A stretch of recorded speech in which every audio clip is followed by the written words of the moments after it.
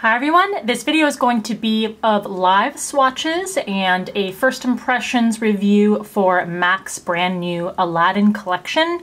As many of you will know, the new live action version, I guess you would say, of the Aladdin movie is going to be released soon. And in anticipation of that, MAC has done this collection. That hits theaters May 24th. This collection is currently available on MAC Cosmetics website. I would expect that it may also be available through places like Nordstrom in the coming days. So if you're interested in seeing what is worth checking out from this collection, then stay tuned. Make sure you're subscribed to the channel. Follow Allura Beauty on Instagram. The handle's in the description box, as well as a link to where you can find these items if you'd like to purchase, and a link to Ebates to make sure that you can get some cash back. MAC does run a 3% cash back through Ebates, so that's a really easy way to spend a little less money on your purchase. And I'm going to link one of the recent videos in the upper right hand corner. If you're curious about the brand The INKEY List, a new affordable skincare brand available through Sephora. This video will review all of the items in the line that are available,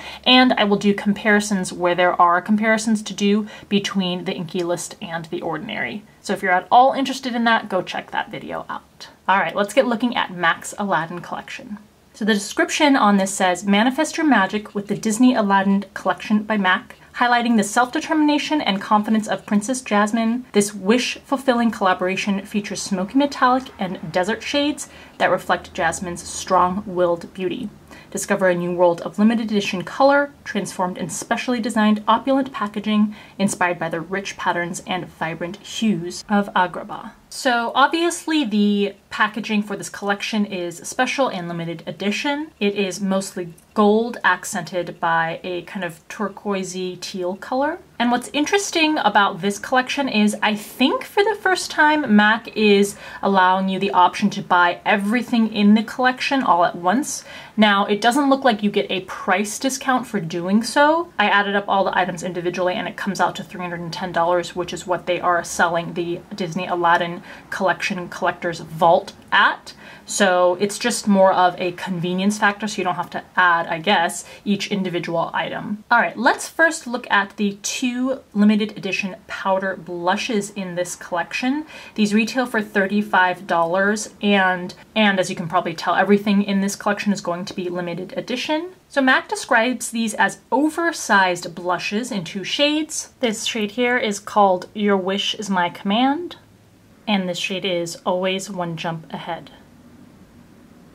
So first taking an angled powder brush, we'll swatch Your Wish is My Command. And this is a deep golden brown shade.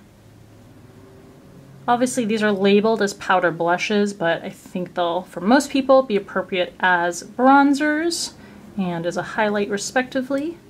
This has fantastic pigmentation, very rare that I don't think I need to put a second layer on a powder, but I'm just gonna leave it at this one layer. Very smooth finish also.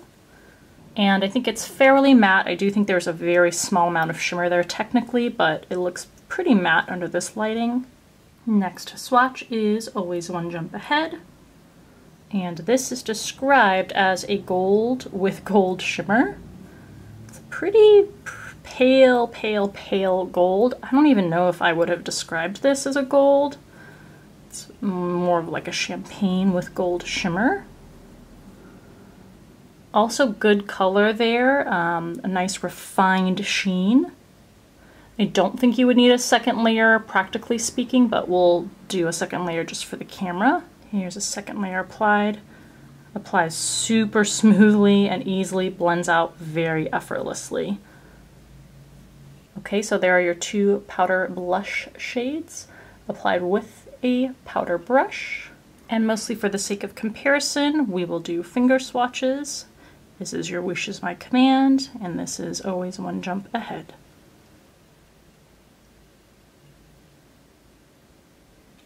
Next, let's look at the 9 pan eyeshadow palette. It is called the Princess Jasmine palette. It also retails for $35 and it includes nine smoky metallic and desert shades. Here are the nine shades up close. As always, I will swatch these with an eyeshadow brush from Sigma.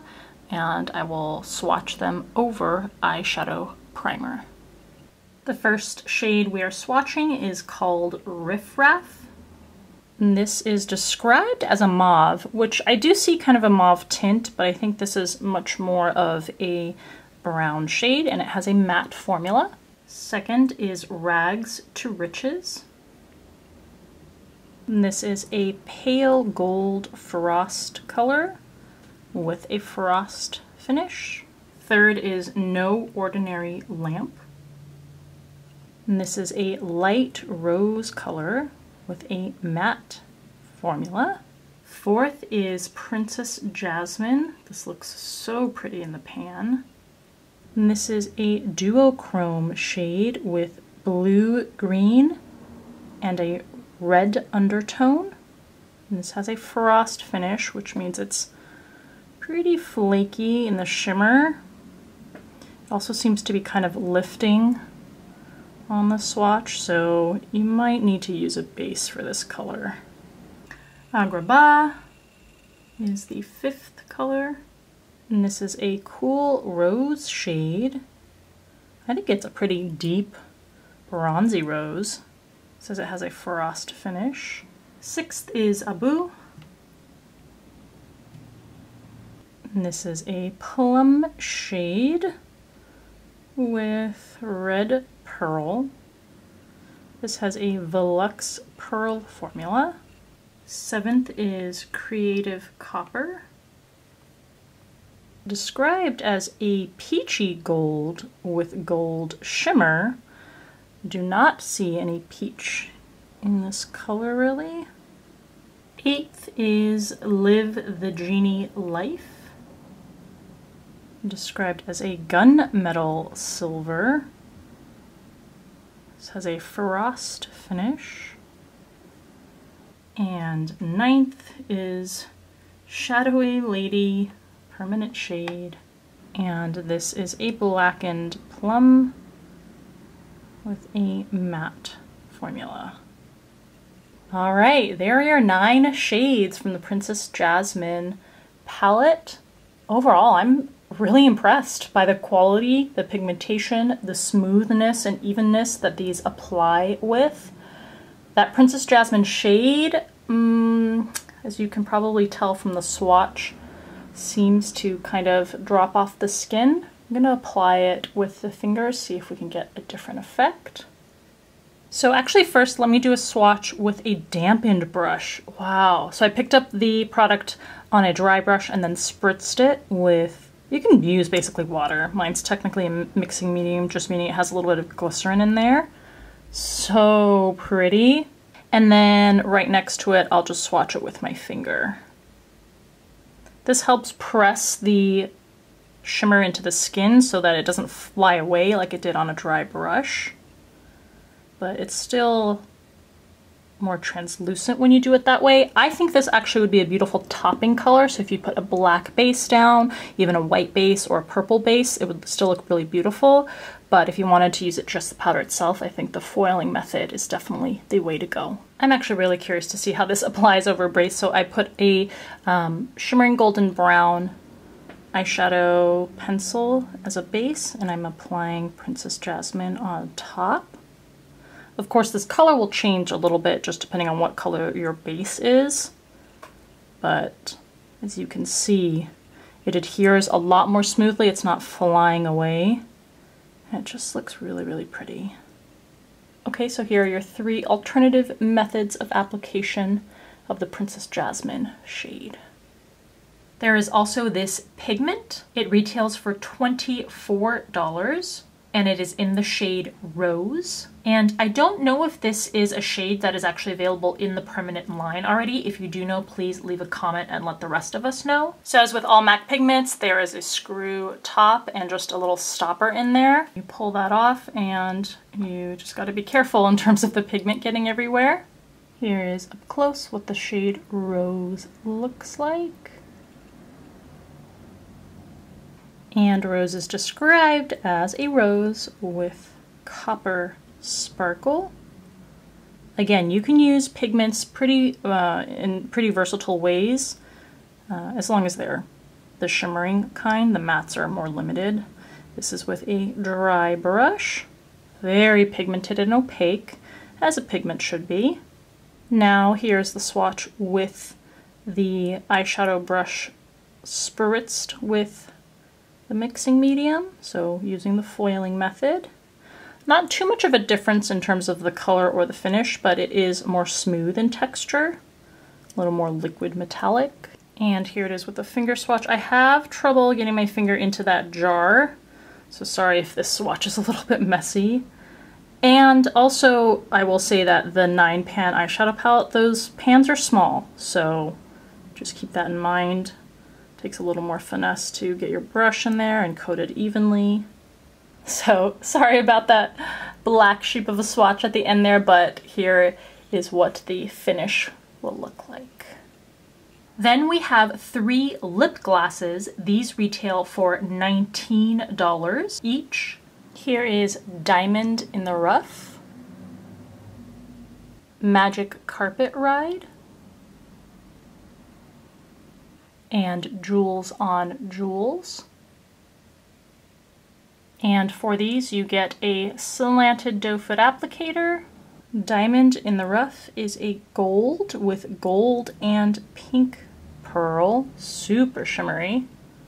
Magic Carpet Ride is a light pink with pink pearl.